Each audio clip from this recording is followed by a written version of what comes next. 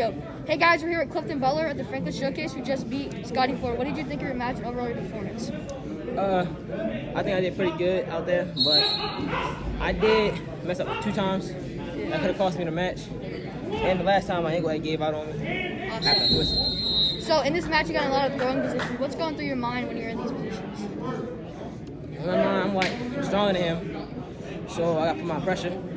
I'll apply pressure on that one arm I got. Yeah. So after the second period, you were up. What's going through your mind going into that third period? Third period, I wanted, I wanted, I wanted the bigger lead. So out there, I was still trying to score and trying my hardest. Awesome. So my last question, overall, what did you think of the showcase? Showcase, it's, it's amazing. I like it.